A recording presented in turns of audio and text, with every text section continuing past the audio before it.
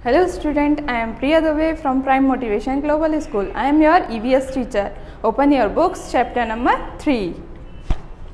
Internal organs of our body. Internal organs internal organs क्या होते हैं जो हमारे बॉडी के अंदर होते हैं organs are important part of our body organs क्या होता है इंपॉर्टेंट पार्ट होते हैं हमारी बॉडी के जैसे legs hands ears and nose are external organs that we can see external organs क्या होते हैं?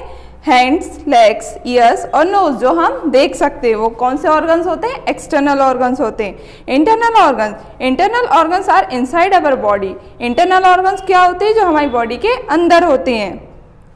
We can not see them but they are working all the time to help our body function properly the brain heart lungs and kidney are some important most important internal organs of the body ये क्या होते हैं? हमारे body के बहुत important organs होते हैं। Functions of internal organs functions पढ़ेंगे आप किसके? इंटरनल ऑर्गन्स के.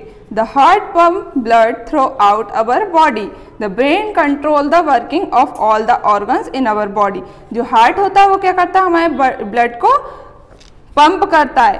पूरी बॉडी में सप्लाई करता है. Brain control the working of all the organs of our body brain क्या करता है? हमको सोचने में हमारी मदद करता है। Our lung help us to breathe और लंग्स क्या करते हैं? हमारी सांस लेने में हेल्प करते हैं। The kidney remove waste from our body जो किडनी होती है, वो हमारे वेस्ट अपनी बॉडी के अंदर जो भी वेस्ट रहता है, गंदगी रहती है, उसको बाहर करती है।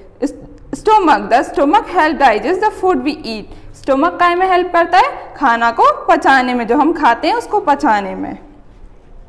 Taking care of body Organs help us stay healthy and work tireless. That is why it is the our duty to keep them healthy.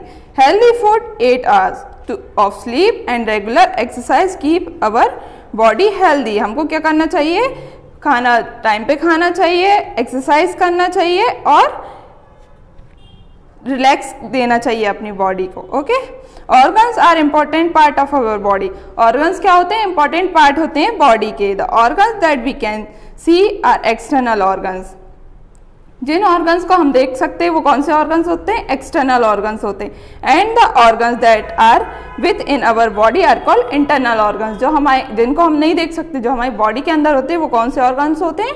Internal organs होते हैं. Internal and external organs help our body in doing all the important functions like seeing, hearing, feeling, smelling, thinking, breathing, standing, moving, walking and also digest our food.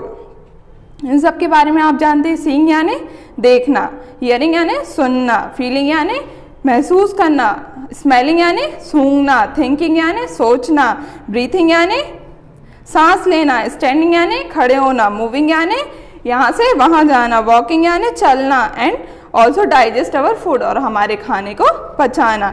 It is to take care of body organs in order to keep them healthy इन सभी के through हम अपनी body को healthy रख सकते हैं। Okay student बाकी आपको क्वेश्चन आंसर एक्सरसाइज नीचे पीडीएफ में मिल जाएँगे। अब अपन नेक्स्ट वीडियो में मिलेंगे।